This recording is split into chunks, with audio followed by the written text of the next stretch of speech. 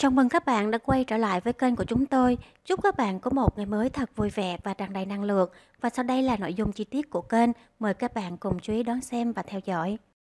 Quế Vân từng gặp nguy hiểm cận ngày sinh, nay sống hạnh phúc cùng ba con. Quế Vân là một trong những nữ ca sĩ vi sở hữu vóc dáng cuốn hút, từng trải qua nỗi buồn tình cảm cùng chồng cũ, hiện mẹ đơn thân đang sống hạnh phúc cùng ba con.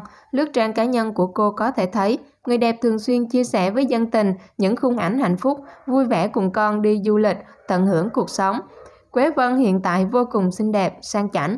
Ít ai biết, còn ngày sinh con thứ ba, Quế Vân từng được bác sĩ cảnh báo về sức khỏe khi trong thời gian sắp đến lúc sinh nở, nhưng người đẹp lại bị thiếu máu. Sau những lo lắng, bé cưng đã được chào đời mẹ tròn con vuông, ngày một bụ bẩm, kháu khỉnh. Cô từng được bác sĩ cảnh báo trước ngày sinh. Vượt qua mọi khó khăn, người đẹp hạ sinh bé Vú một cách hoàn hảo. Cô yêu thương các con, xem đây như là kho báu quý giá nhất đời mình. Sinh con trong mùa dịch, nữ ca sĩ đã tự mình lái xe đi sinh nở mà không có người thân bên cạnh. Ngoài ra, cô còn khiến nhiều người ngạc nhiên khi khoe khéo vóc dáng cuốn hút chỉ vài ngày sau khi lâm bồn. Quế Vân từng chia sẻ, hình ảnh này tặng cho các mẹ bỉm sữa, luôn yêu cái đẹp và muốn học hỏi để trở nên đẹp hơn mỗi ngày, sống tích cực, không sân si.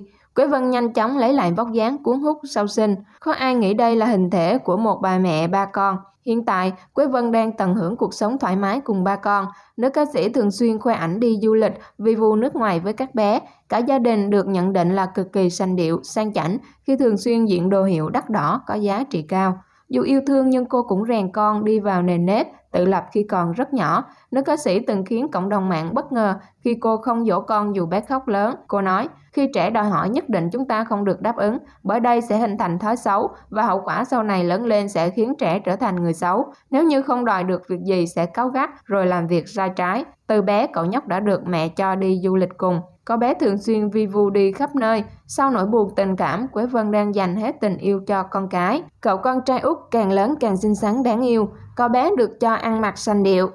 Là mẹ đơn thân nhưng Quế Vân không hề than vãn hay cảm thấy mệt mỏi. Hồi tháng 7 vừa qua, người đẹp vừa tổ chức tiệc thôi nô cho bé Vú.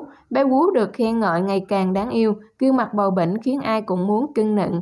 Trong khi đó, con trai thứ hai của nữ ca sĩ là Ben 13 tuổi cao lớn, chân dài và đặc biệt là gương mặt điển trai. Với áo sơ mi trắng, cậu chàng được ví như soái ca tương lai. Ngoài ra, bé Nhật Minh, con trai lớn của Quế Vân, cũng xuất hiện trong tiệc sinh nhật của các em. Nữ ca sĩ cho biết cô rất hạnh phúc khi ba đứa con trai của mình luôn yêu thương nhau. Khung ảnh hạnh phúc của Quế Vân và các con. Cô gác lại hạnh phúc riêng mà tập trung cho con cái. Bạn nghĩ gì về cuộc sống của mẹ đơn thân Quế Vân hiện tại? Hãy để lại bình luận và cùng cập nhật những tin tức mới nhất và hấp dẫn nhất tại kênh tin mới nhất nhé.